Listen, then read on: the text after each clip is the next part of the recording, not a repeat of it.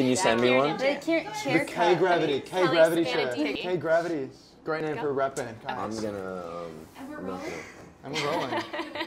So nice to talk to you guys about all kinds of things. Zero gravity chairs, but now Zero we'll talk chairs about the included. film. So, love makes us do crazy things. And in the film, a lot of your characters demonstrate that so perfectly.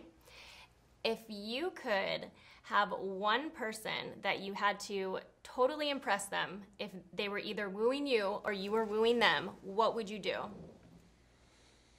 Hmm. It could be the um, most romantic, most impressive, or craziest. I like what I do, and I do this like it's not just romantic. I used to always do this for my older brothers. I would do birthday videos. So like one, I went around New York, um, like just asking random people to say happy birthday to my brothers in Israel. That was sweet to them, you know, to see New York. And then I did one on set. And then for my boyfriend, I did. I asked all of his childhood friends to send in videos, and we edit. We did like a 10 second limit. So if someone talked too much, it was like limit. so we did. I did it in a style that he. We always do it in a funny way. So I like to make videos on iMovie. Oh, that's, cool. so That's I, sweet. I used to, if I could, like it's just like you know, there's there's no rules here. If I could do it, Mm-hmm. okay, hear me out. All right, wait, this is gonna be good. Okay, Send so- it Does anyone have a over. pen? Alright, so this is yeah. I'm So notes. so okay. This is so on video. The planets, the planets true. are aligning. you send me that? Okay. Yeah, the planet, and right before they align, I would sketch into the planets. You know, like, will you? Ma- no, it's not the planets, but like, marry me On the planets. on the planets. So Okay. right as they line up, and you're looking at like this amazing once in a you know, uh, however long thing, and they would line up and it would say marry me. That's what I would do. You're kinda like, Bravo.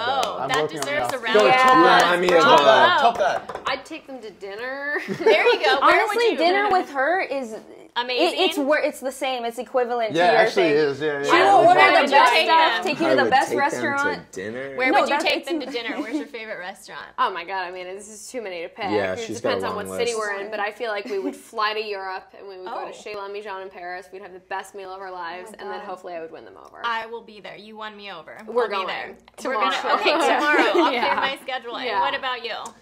Um, I think it depends on the person. Okay. I think that you know sometimes simplicity is better, and just like you know driving somewhere remote and looking at the stars and listening to oh. music or something can be super romantic.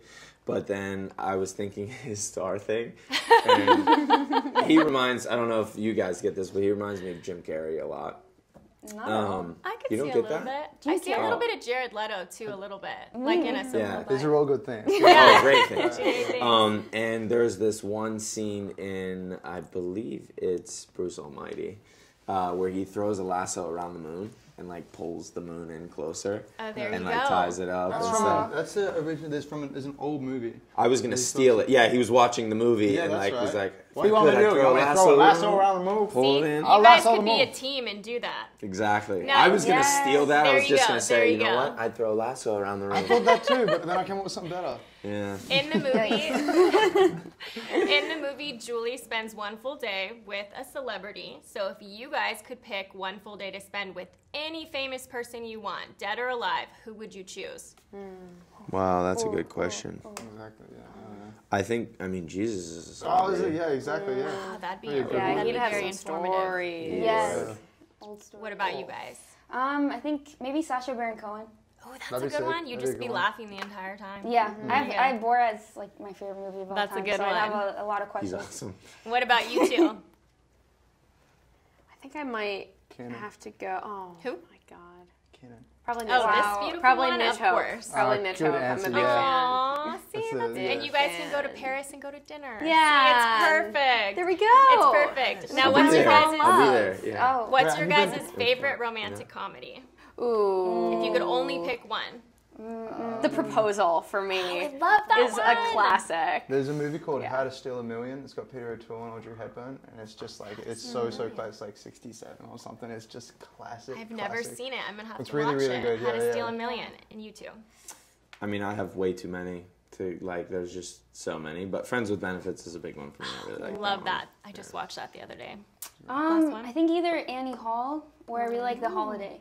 The one with Cameron Okay. Diaz and Jack Holiday is Black. really Like good. Love that. that. And Jude Law. That's you guys are Yes. amazing. That's There's just too That's a many really good one. romantic comedies to pick Well, they're one. wrapping me up, but I love the movie and I can't Thank wait for everybody to see one, it. You guys are amazing. Thank so thank you. you Thank you. I'll call you tomorrow about Paris. Sounds